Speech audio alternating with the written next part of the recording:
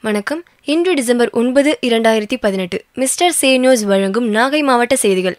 நாகை மாவட்டம் மயிலாடுதுறை அருகே சோழம்பேட்டை கிராமம் காளியம்மன் கோவில் தெருவில் இருபத்தி ஐந்திற்கும் மேற்பட்ட தொகுப்பு வீடுகளில் மக்கள் வசித்து வருகின்றனர். கடந்த இருபத்தி ஐந்து ஆண்டுகளுக்கு முன்பு கட்டிக் கொடுக்கப்பட்ட தொகுப்பு வீடுகள் அதிக அளவில் சேதமடைந்துள்ளது. இதனைத் தொடர்ந்து கடந்த இரண்டாயிரத்தி பத்து மற்றும் பதினொன்றாம் ஆண்டுகளில் எம்எல்ஏ தொகுதி மேம்பாட்டு நிதியின் கீழ் பல வீடுகள் சீரமைக்கப்பட்டன. தற்பொழுது பெய்த மழையால் தொகுப்பு வீடுகளில் மழைநீர் கசிவு ஏற்பட்டுள்ளது. இதனால் வீட்டின் மீது தார்பாய்களை போர்த்தி அந்த பகுதி மக்கள் வசித்து வருகின்றனர். இந்த நிலையில் நேற்று முன்தினம் அந்த பகுதியை சேர்ந்த சாந்தி என்பவர் வீட்டில் தூங்கிக் கொண்டிருந்தார். அப்பொழுது வீட்டின் மேற்கூரை பெயர்ந்து சிமெண்ட் காரைகள் சாந்தியின் மீது விழுந்தது. இதில் காயமடைந்த அவரை அக்கம் பக்கத்தினர் மீட்டு சிகிச்சைக்காக மயிலாடுதுறை அரசு மருத்துவமனையில் சேர்த்தனர். இதனால் அச்சமடைந்த அப்பகுதி மக்கள் சேதமடைந்த தொகுப்பு வீடுகளுக்கு பதிலாக பசுமை வீடுகள் திட்டத்தில் அரசே வீடுகளை கட்டிக் கொடுக்க வேண்டும் என்று கோரிக்கை விடுத்துள்ளனர்.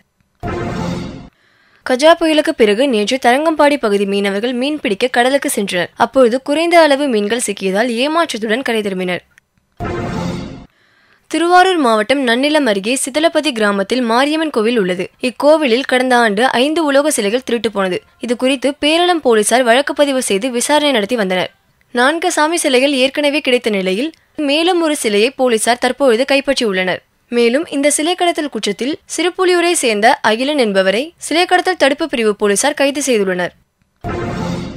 நாகை மாவட்டம் மயிலாடுதுறை அருகே கழனிவாசல் மாங்குடி பிள்ளையார் கோவில் தெருவை சேர்ந்த கலியமூர்த்தி மகன் சுரேந்தர். இவருடைய மனைவி இந்திரா. இவர்களுக்கு திருமணமாகி பதினைந்து ஆண்டுகள் ஆகின்றன. கணவர் மனைவி இடையே அடிக்கடி குடும்ப பிரச்சனை ஏற்பட்டதால் பிரிந்து பின் சமாதானமாகி இருவரும் மீண்டும் சேர்ந்து வாழ்ந்து வந்தனர். இந்த நிலையில் நேற்று முன்தினம் இந்திரா மற்றும் சுரேந்தர் இடையே மீண்டும் தகராறு ஏற்பட்டுள்ளது. இதில் வாக்குவாதம் முற்றி ஆத்திரமடைந்த சுரேந்தர் இந்திராவை அறிவாளால் வெட்டினார். மேலும் சுரேந்தருடன் சேர்ந்து அவரது தாய் லலிதாவும் இந்திராவை திட்டி கொலை மிரட்டல் விடுத்ததாக கூறப்படுகின்றது. இந்திராவை அக்கம் பக்கத்தினர் மீட்டு சிகிச்சைக்காக மயிலாடுதுறை அரசு மருத்துவமனையில் சேர்த்தனர். அங்கு அவருக்கு தீவிர சிகிச்சை அளிக்கப்பட்டு வருகின்றது. இந்த சம்பவம் தொடர்பாக இந்திரா கொடுத்த புகாரின் பேரில் பெரம்பூர் போலீசார் வழக்கு பதிவு செய்து கணவர் சுரேந்தர் மற்றும் மாமியார் லலிதா ஆகிய இரண்டு பேரையும் வலைவீசி தேடி வருகின்றனர்.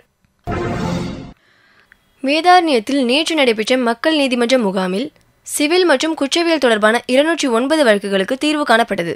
மக்கள் நீதிமன்ற முகாமில் நீதிபதி கே எஸ் திருமணி வழக்குகளை விசாரித்தார். இதில் இருநூற்றி ஏழு குற்ற வழக்குகளுக்கும் இரண்டு உரிமையியல் வழக்குகளுக்கும் சமரச தீர்வு காணப்பட்டது. மேலும் அபராத தொகையாக ரூபாய் அறுபத்தி எட்டாயிரத்தி தொள்ளாயிரம் வசூலிக்கப்பட்டது.